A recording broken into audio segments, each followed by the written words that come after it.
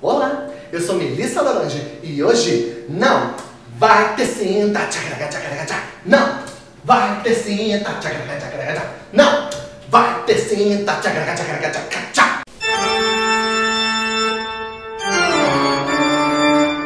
Não, gente, eu não enlouqueci. É que eu tô livre da cinta, tô numa liberdade maravilhosa. E por que, que eu não tô de cinta? Porque hoje eu vou falar um pouquinho sobre gordofobia e é um pouco hipócrita falar isso enquanto eu tô acinturada.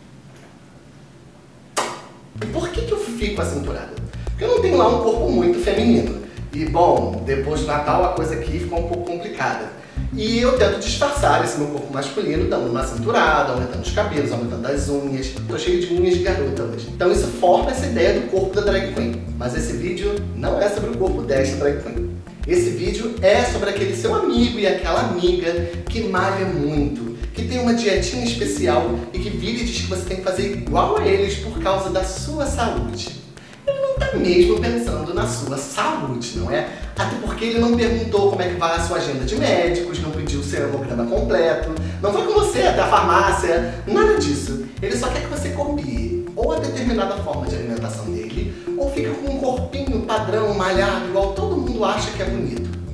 Afinal, o que será que está realmente em jogo aqui?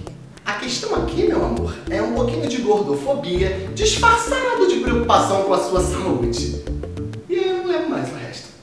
Porque convenhamos, quantos desses nossos amigos não fazem essas dietas ou passam o dia inteiro na academia, mas fumam tudo que vem pela frente, bebem tudo que vem pela frente, cheiram tudo que vem pela frente, enchem o corno de supletivos alimentares. A pessoa tá com o fígado trabalhando mais do que os bíceps. E você me pergunta, Melissa, ó oh, Melissa, mas qual é o problema do cara malhar e encher os cornos de todas as outras substâncias? O corpo é dele. Calma, calma, calma. Ah não, o corpo é dele, Deus me livre. Quem sou eu para dizer o que a pessoa pode ou não pode fazer com o corpo? Ela faz o que ela quiser. O corpo dela é o tal do templo. Ela só não precisa ficar fazendo pregação religiosa no corpo dos outros, não é, meu amor? Porque quando você tá ali malhando, fumando seu cigarrinho, vira pra sua colega que tá comendo chocolate e fala: chocolate engorda. Amor, cada um escolhe o câncer que deseja morrer. Cada uma sabe aonde aperta a fita crepe. Enfim, não tem nenhum problema ele ficar lá na academia com o braço sarado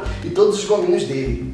Eu prefiro ficar com o meu melãozinho, que tá todo mundo bem, gente. No final tudo tá suco. A questão aí é que existe uma ditadura do corpo onde, disfarçado de preocupação com a saúde, a gente diz que as pessoas precisam malhar, fazer exercícios e consumir muito.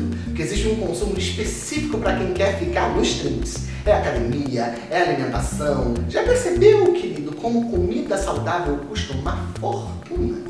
Não é todo mundo que pode se dar o luxo de ficar comendo barrinha de cereal, comida orgânica. As coisas custam caro. O que nos leva àquele outro amigo que todo mundo tem, vegetariano, vegano, da intolerância à lactose, que não come glúten, tem aquela alimentação certinha, com aquela dieta chata que ele fala, hum, não come isso, hum, não come aquilo, vou na tua casa, não pode fazer isso. Mas que a gente faz porque a gente é amigo. Vou falar que, que fuma que nem uma chaminé, porque aí vai direto no gente já se afeta logo. Aí no final de semana, ele fuma três maços de cigarro, que nem a chaminé, e você fica pensando, Quer dizer, o intestino não pode, né? O pulmão tá tranquilo. Mais uma vez, nada contra quem é vegetariano, vegano. Se você só se diz vegano porque você não come carne nem lactose, acho que você é só uma pessoa que não come carne nem lactose. Eu acho que quem é vegano é uma coisa muito bonita, porque a pessoa não é só uma questão de dieta, é uma questão de posição política. Ela vai contra toda essa sociedade capitalista que consome as coisas de origem animal, que abusa dos animaizinhos. Não é só não comer carne, é também não usar vestimenta com origem animal, medicamento, maquiagem. Eu acho isso realmente muito bonito, um engajamento incrível. Eu até queria ser, mas assim. É... Desculpa, Enfim, gente. Você faz o que você quiser, com a sua dieta, desculpa, com seus exercícios, tudo que você tiver afim. Pode ficar preocupado só com o corpo? Pode. Pode ficar preocupado só com a parte do cigarro não consumir? Pode. Pode fazer o que você quiser. O que não pode é achar que porque eu vou à academia e estou forte, eu estou saudável. Logo, não tem nenhum problema eu beber, fumar, cheirar tudo, porque as coisas não funcionam matematicamente assim, tá? Se você está preocupado com a sua saúde, você está preocupado com a sua saúde de modo geral. Então, gente, segunda-feira de carnaval. Na verdade, eu não tô nem aqui. Esse vídeo já foi gravado. Possivelmente eu estou largado numa sarjeta, completamente bêbada, depois de chupar o bloco do time reserva do Criciúma. Entendeu? Era só isso que eu tinha pra dizer. Vamos curtir, galera. Tchau!